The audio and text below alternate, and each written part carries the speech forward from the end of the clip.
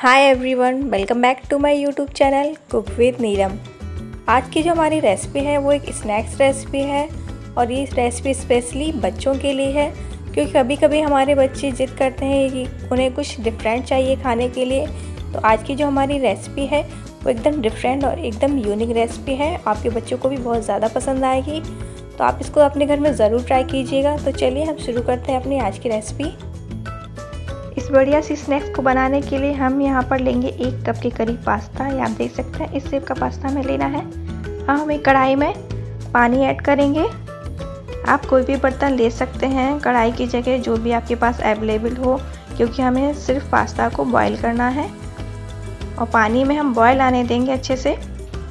तो आप देख सकते हैं, पानी में अच्छे से बॉयल आ चुका है। अब हम इसमें अपना पास्ता ऐड कर देंगे। और इसको थोड़ा सा अब हम स्टर करेंगे। पास्ता को हमें 100 परसेंट कुक नहीं करना है। हमें इसे सिर्फ़ 90 परसेंट ही कुक करना है। ओवर कुक हमें इसे बिल्कुल भी नहीं करना है। और बीच बीच में थोड़ा सा हम इसको स्टर करते जाएँगे। तो आप देख सकते हैं, पास्ता हमारा जो है वो अच्छे से पक गया है। तो इसको अब हम निकाल लेते हैं।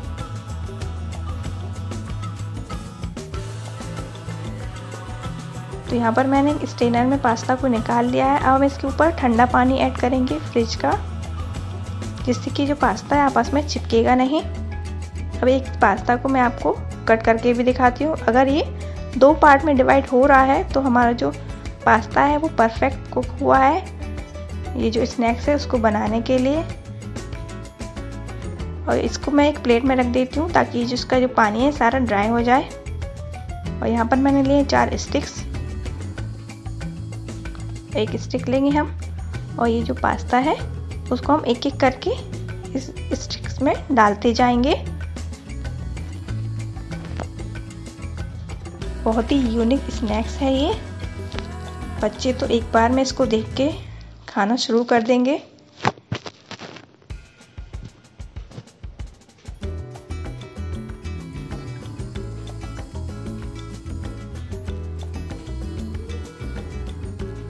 तो यहाँ पर मैंने एक स्टिक में पास्ता को ऐड कर दिया है।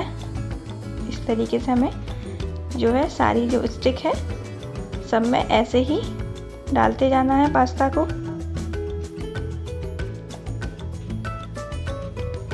तो हमारी चारों जो स्टिक है वो रेडी है। अब हम एक प्लेट लेंगे और इसके ऊपर एक हम बटर पेपर रखेंगे और ये जो पास्ता है हमारा, इसको इस पर रखेंगे स्टिक को।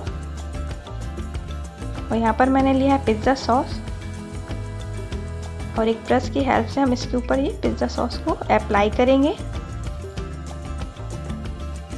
अगर आपके पास ब्रश नहीं है तो आप स्पून से भी इसको लगा सकते हैं।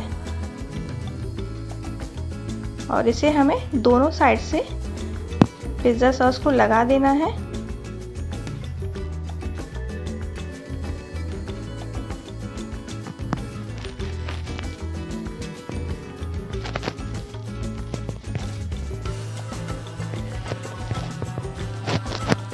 इसी तरह से हम अपनी जो दूसरी स्टिक है, उस पर भी लगा देंगे पिज़्ज़ा सॉस को।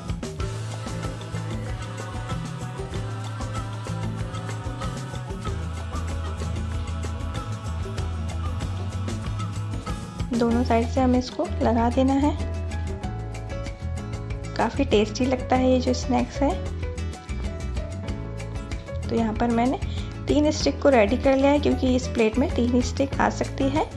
और हम लेंगे एक बाउल में मोजरेला चीज़ और ये जो चीज़ है, हम इसके ऊपर अप्लाई करेंगे। चीज़ को हमें ग्रेट करके लेना है।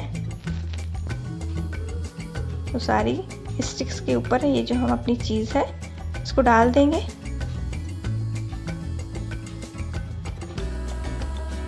इसके ऊपर कोई भी चीज़ डाल सकते हैं, जो भी आपके पास हो अवेलेबल आपके इसके ऊपर क्यूब चिप्स भी डाल सकते हैं। और हम इस पर आप टमाटर डालेंगे। जो जो टॉपिंग्स आपको पसंद है, वो सारी टॉपिंग्स इस पर आप डाल सकते हैं। हम इस पर डालेंगे स्वीट कॉर्न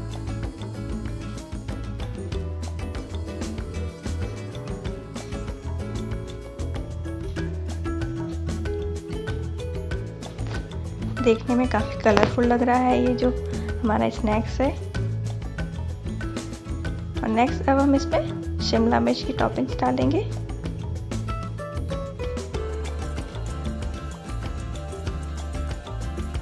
अगर आपको मेरी रेसिपी पसंद आती है तो मेरे चैनल को सब्सक्राइब ज़रूर कीजिएगा। और वीडियो अगर आपको मेरा पसंद आए तो लाइक ज़रूर कीजिएगा। तो हमारी तीनों स्टिक्स जो हैं वो रेडी हो गई हैं। ये देख सकते हैं कितनी बढ़िया लग रही है ना ये। हम इस पर ऑरिगेनो डालेंगे थोड़ा सा